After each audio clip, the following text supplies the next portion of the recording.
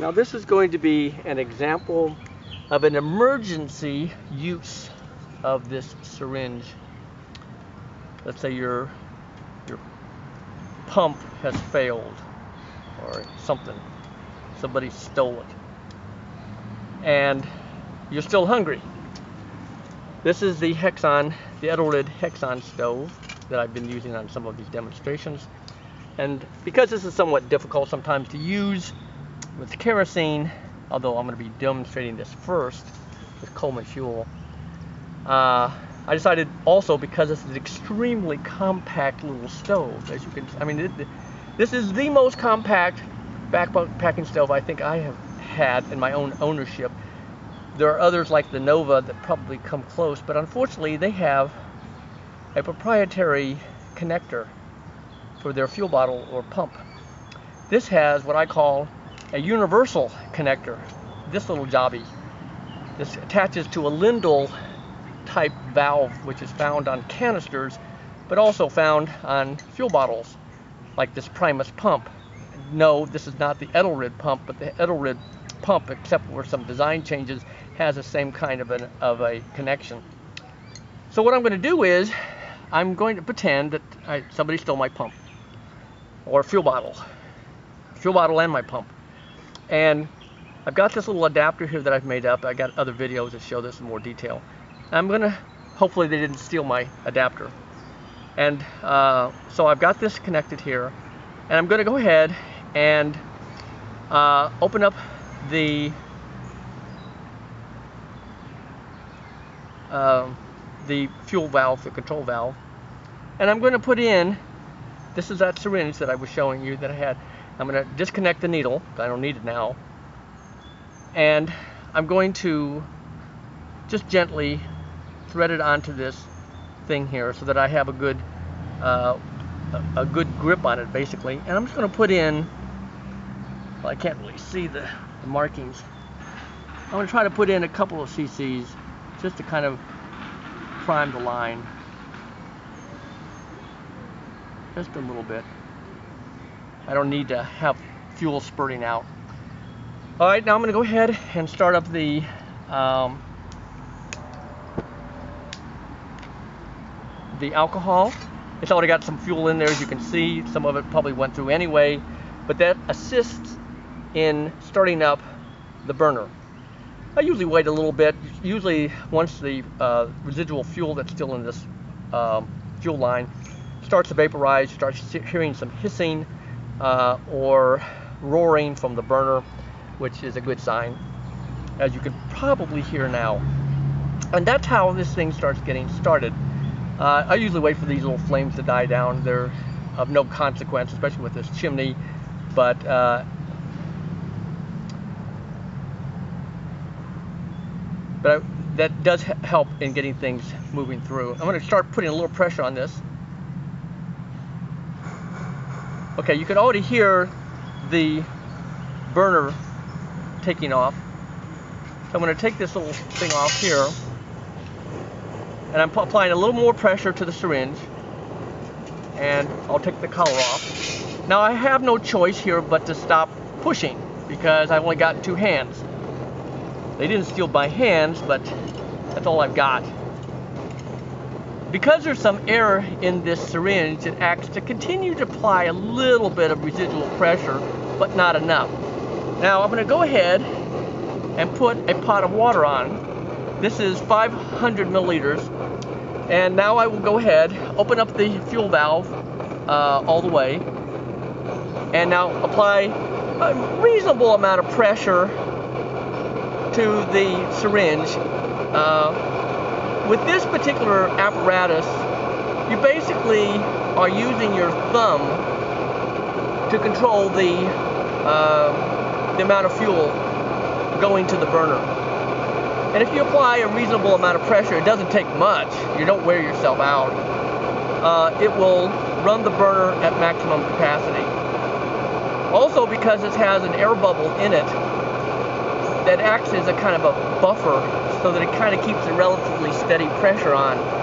If you put more pressure on, the, the, the first transmission of the pressure on the plunger is to the air bubble and so it tends to moderate things as opposed to having no air in it at all, where you, you now have a direct one-to-one pressure from your thumb to the liquid.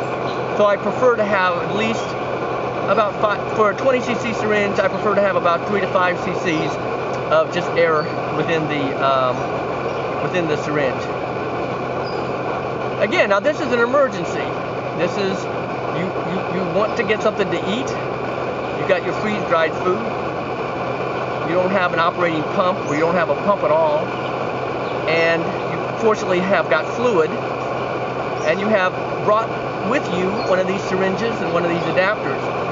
Now the syringe weighs 10 grams, so as you can tell, it's actually a very lightweight pump.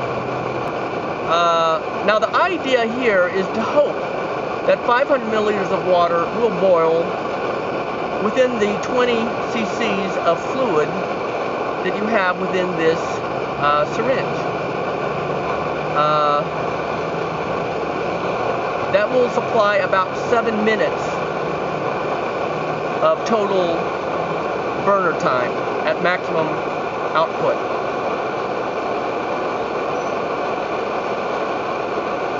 I'm not timing this, so I don't know how much time I've used. And I can't see the markings on this uh, syringe. I'm going to see if I can't move this a little bit closer to the, you can see this now on the monitor, but I don't want to get too close to the flames, obviously. Now again, if you take your finger off of this, you still get some residual pressure from the air bubble, so you can kind of relax your finger from time to time.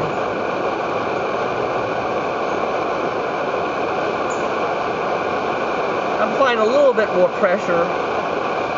See if we can't hurry things along here.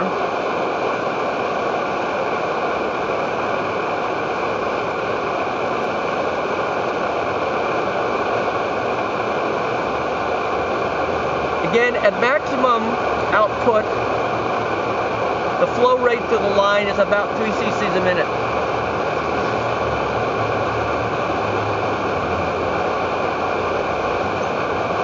Now there is one additional advantage to having this syringe.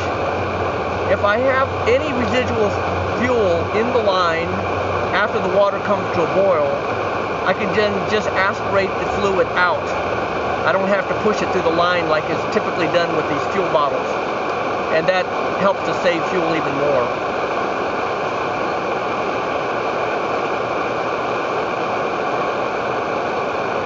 I may or may not run out of fuel though before the water boils.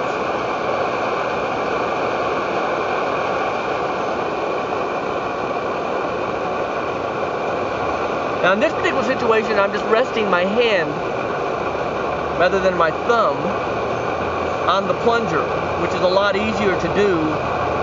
Initially, it's probably best to use your thumb so that you get a good idea of the, uh, the burner characteristics but after that, you probably can just rest your hand on the uh, plunger and it'll supply enough force to uh, move the fluid through.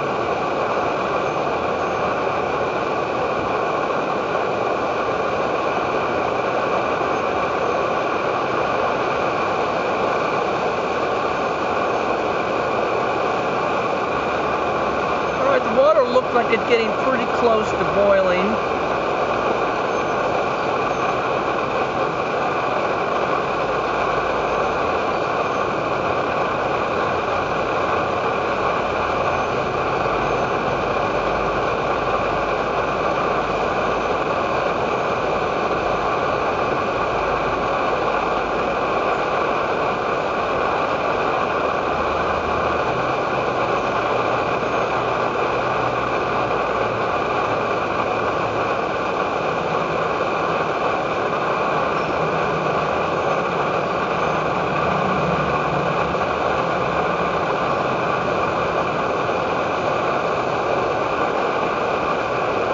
Getting a little bit of a rolling boil.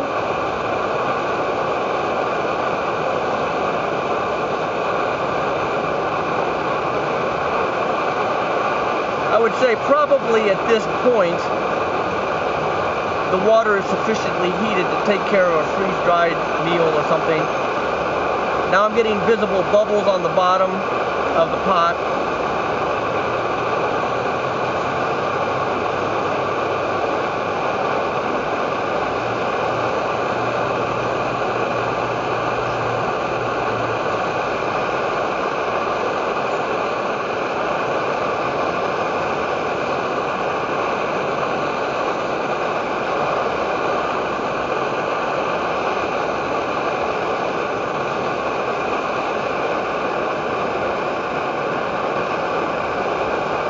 I think you can see barely in the video uh, that there's still a little bit of fluid left in the syringe.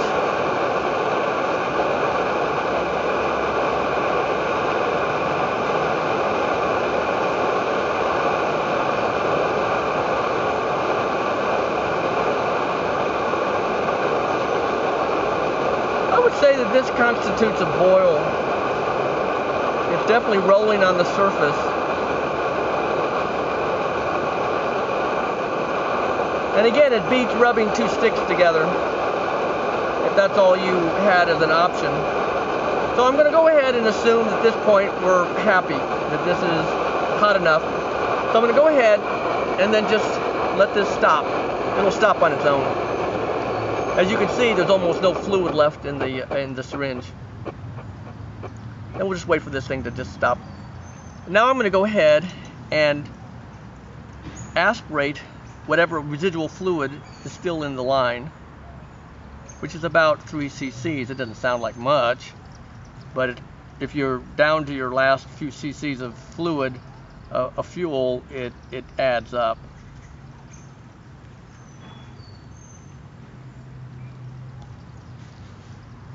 As you can see, I'm trying to do this. Uh, ideally, you want to kind of raise the stove up at a higher level so that the fluid goes downhill, but um, but that's about as best I'm going to be able to do. Um, close off the valve, and let's see how much uh, we have left here. Um,